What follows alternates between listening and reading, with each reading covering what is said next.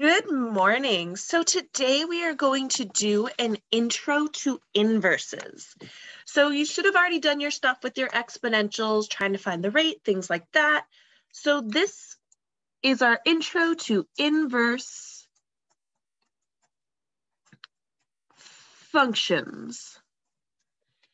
And inverse functions are, inverse means the opposite. So like in the cha-cha slide where they go reverse, reverse, we're doing the same sort of thing. So we need to first talk about inverse operations. Let me draw my line. So inverse operations. So the normal operations, we're either, we're adding, we're multiplying, we're taking the square of something. The inverse is the opposite. So the opposite of addition is subtraction. The opposite of multiplication is division. And the opposite of squared is the square root. So these functions, knowing what their opposites are, are going to come in handy later. So the definition we're going to be using for inverse function is, so for inverse function is a function that undoes the other. So for example, what I mean by undoes is say we have f of x equals x plus 3. We want a function that undoes that, which is the opposite. So for the function that would undo it, it would be x minus 3. So technically, if you were to compose them and find f of g of x, you would get x. And that's a way to check it.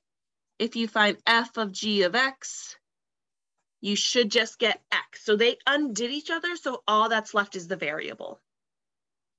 So I'm gonna show you how to actually find it. So example one, find the inverse. So I'm gonna go step by step in thinking about how to do this.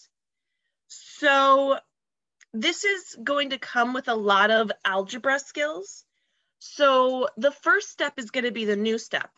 Everything else is going to be algebra that you've already learned. So that's the cool thing about inverses. So say we have f of x equals 2x plus 5.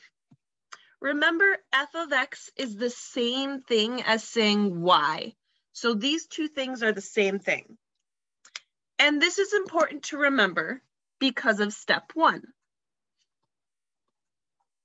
So the first step, the weird step that is the most important step is you want to switch x and y.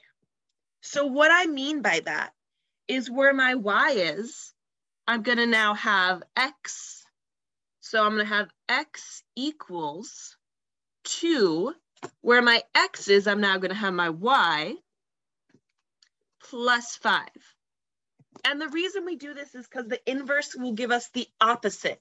So by switching our x and y, we're gonna be able to find the equation that undoes the other. So this is the most important step. And the next step is stuff you already know how to do. So step two, you're going to solve. And normally you're used to solving for X, but it's already solved for X. So you're gonna solve for Y. So looking at my equation, I have X equals 2Y plus five. So I want to get this y alone. So my first step, So I want to look at what's not touching my y first as far away as poss possible. So I had that 5.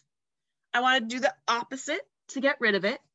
So I subtract 5 from both sides. I'm going to draw my little line because I know that helps me.